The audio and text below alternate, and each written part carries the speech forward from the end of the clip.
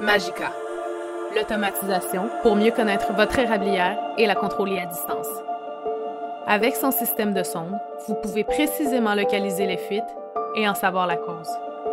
De n'importe où, mesurer la température ambiante à la sucrerie et poser des actions concrètes, comme démarrer les pompes, augmenter le niveau de vacuum et même suivre en direct le niveau d'eau des bassins.